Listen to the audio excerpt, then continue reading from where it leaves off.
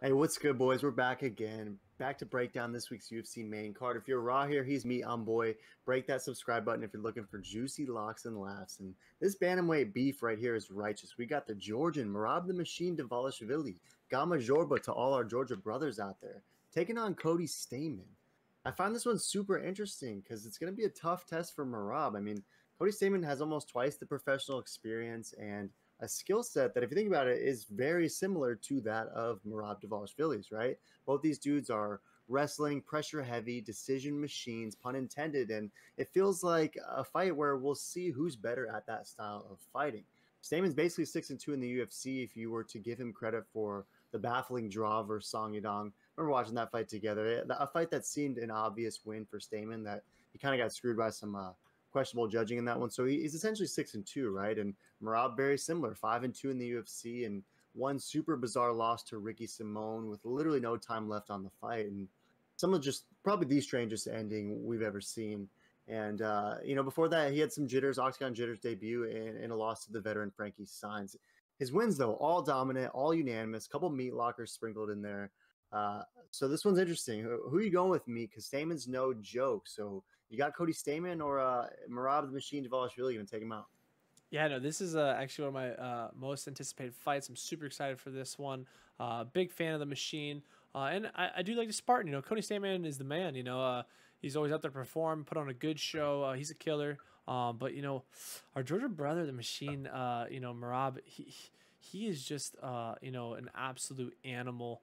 Um, I think he's going to take this pretty convincingly with his grappling. Um, now it, will surprise me if he tries to stand up with Cody. I think Cody will have the slighter edge, but it wouldn't surprise me if Merab kind of uh, shows us what he's been working on. Um, the only thing that does kind of concern me, you know, is uh, Merab. He, he did a little, uh, you know, um, I would say a, a, little swim test for us in some uh, icy cold waters, and.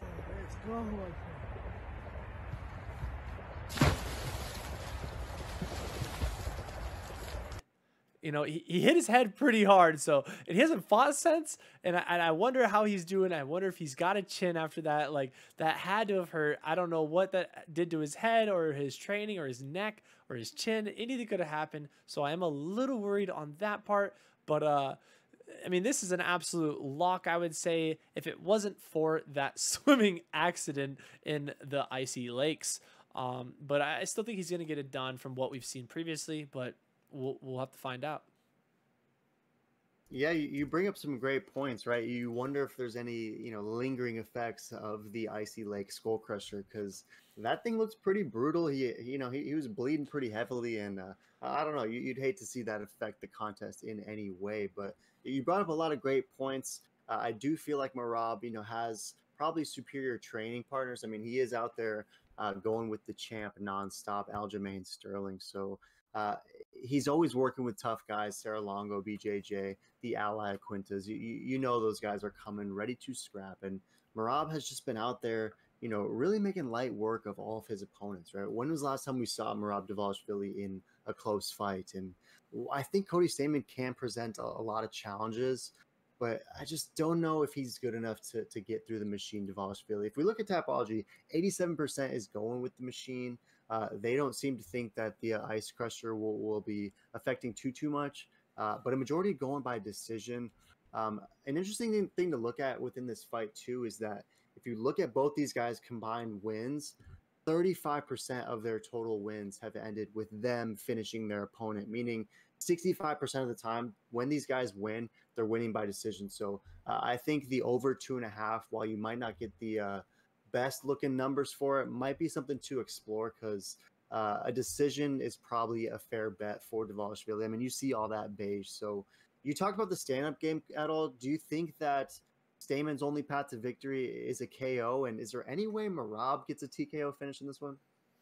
Uh, I mean, it wouldn't surprise me. I mean, the machine's an animal. He could be training his striking this whole time, and he he's out there to put on a statement. But I think he's going to stick to his roots. I think he's going to maul, ground and pound. Could get a TKO on the ground. Um, I would be uh uh pretty mind blown if the Spartan does get a a, a YOLO submission.